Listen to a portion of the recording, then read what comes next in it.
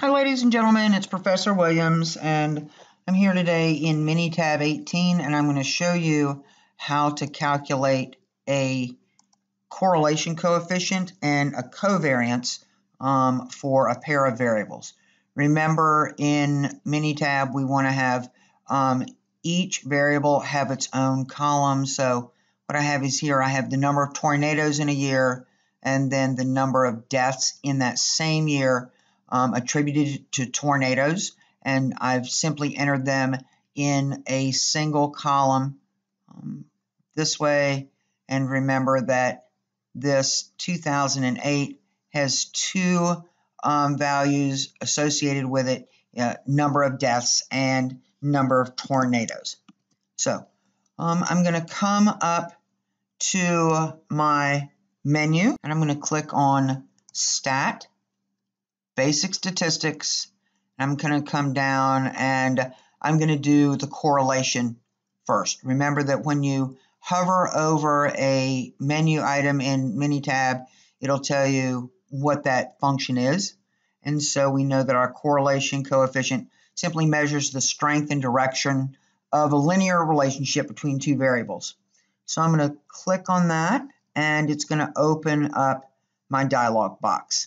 And so the two variables that I'm interested in are going to be um, in columns C2 and C3. So I want tornadoes and deaths.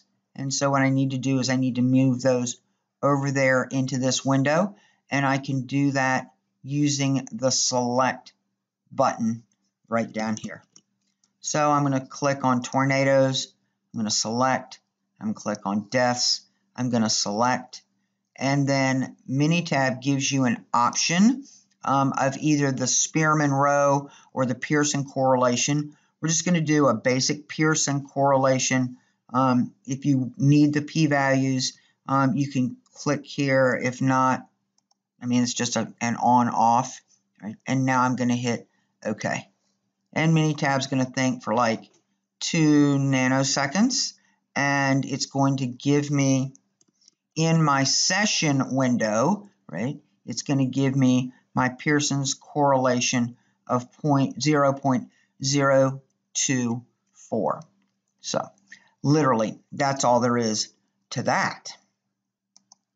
So now I'm going to come back to um, my data here in my worksheet, and I'm going to come back to stat, go to basic statistics, I'm going to come down, and now what I want is I want the covariance um, of the um, of the pairs of variables. So again, here's my um, dialog box. So last time we selected the two variables by using this select function down here at the bottom. I'm going to show you another way you can do it. So if I come up to tornadoes and I double click, it jumps over. Now I'm going to go to deaths I'm going to double click and it jumps over. So um, either use the select feature or just double click and they'll jump over in the variable window for you. Um, that's literally all you need. And now you hit OK.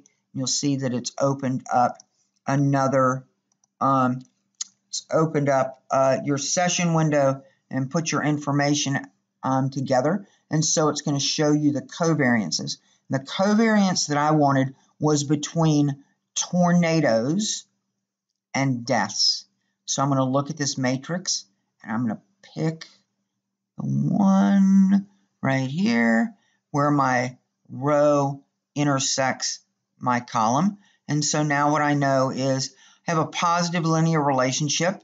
Um, the covariance is 3.1778, um, but I have a correlation coefficient of only 0.02. So positively correlated, mm, probably not um, as strongly as we would think. So literally, in Minitab 18, um, that's all you need to do to find both your correlation coefficient and your covariance. Hope you guys have a great day.